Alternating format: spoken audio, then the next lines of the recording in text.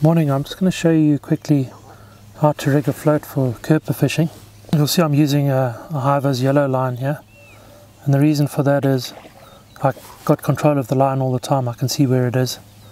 So it just gives you a much better control factor.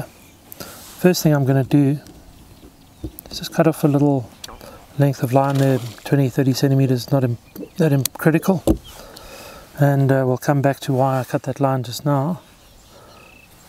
So the first thing we do is just rig it through the float like that, put the line on there. We're going to use this as a sliding float because we're fishing fairly deep water. And the next thing we're going to do is tie on the hook. And in this case, I'm using a Hayabusa size 1 octopus beak hook. You'll see it's got the offset on the eye there. And whatever knot you're confident with, just go for it. Let's get that hook attached.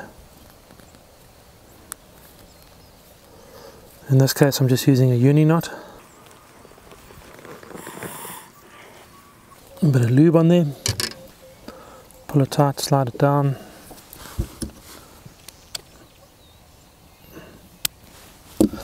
So that first piece of line that I cut, we're actually going to make a little stopper there. And what's going to happen is this float is going to slide up as your weight and your bait goes down and eventually gets to the stopper knot and will balance the float such that it pulls this float a fair distance under the water and then we get a good bite indication. Okay, so taking that piece of line there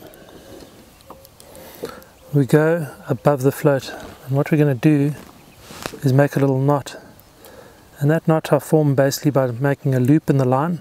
So we've got a tag end on each side next to the main line and then passing it through that loop and around the main line at least six times. Six to eight times is fine. And again we pull on the two tag ends there and we've got a nice little knot formed there. And we can slide this up and down the line depending on what depth we want to fish. Now the trick with this is don't cut your tag ends too short. Leave them about an inch two centimeters. Trim them off so that they go through the guides easily. If they're too short they're going to hook in the guides. When it's long like that it folds nicely and goes through the guides. So what we now have is a hook, float, the float goes up to there and stops against that knot that we just formed. The next thing we need to do is we need to balance this float so that it cocks nicely and it gives us a bit of weight to cast. So in this case I'm using a 6 gram float there, we're going to start adding some weights. Essentially what that 6 grams means is that the float can carry 6 grams and that'll cock it perfectly.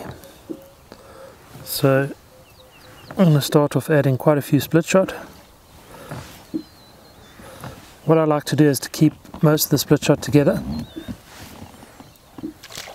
So we've got a central area where the weight is and it also prevents tangles. If you start spreading them out you're going to get a lot more tangles. So there I've added six split shot. What we're going to do is just test it next to the boat here put it in the water, slides through. And what I'm aiming for is to get, get that float somewhere near the top end there where you got that black and white and orange stripe. So I need to add another split shot or two. We're getting pretty close. So this is just trial and error until you get it right. So I'm going to add another two and then see where we're at. We also need to remember that we're going to be putting a fairly big worm on there so we need to compensate for the weight of that. So you can see there I've got a nice contrast between the orange, the black and the white. But I haven't allowed for the worm, the weight of the worm, so I'm going to remove one split shot here.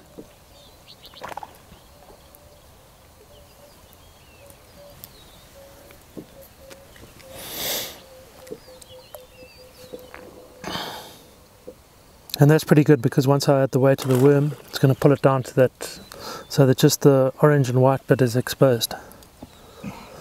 Okay. So now the next thing to do is to determine the depth where I want this float. So I know we're sitting roughly in about three meters of water here. So I'm just going to feed some line out here and we're going to take the stopper knot and slide it up the line.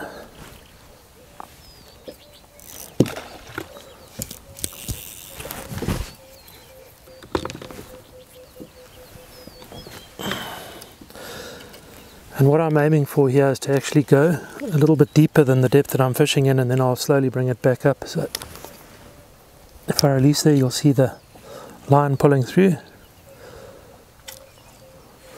until it gets to the stopper knot.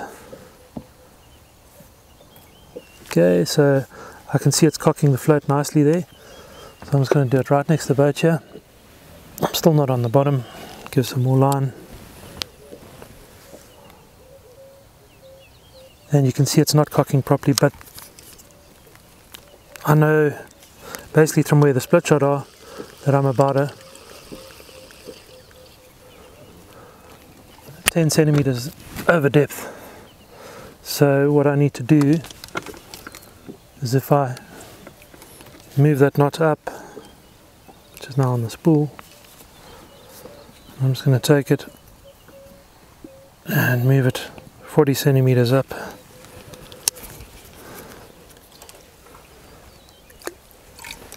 And what should happen now is my float should cock. And there you can see that the float has cocked nicely, so I'm just off the bottom. And that's really where I want to be. If the fish move up, all I do is slide this knot up. I'll stop a knot till I'm at the, the depth I want to be at. And through the day the fish will move up and down. But essentially what we've done now is set our depth there's one thing I like to do, and that's to move one split shot away from the pack, like that. So we've still got a good 20 centimeters there, where we've got nice free movement of the hook and the worm. So what's going to happen, this is going to sink down, and the rest of the crew joins it there, so it straightens it out nicely. Right, let's get some lines in the water and see if we can catch some fish.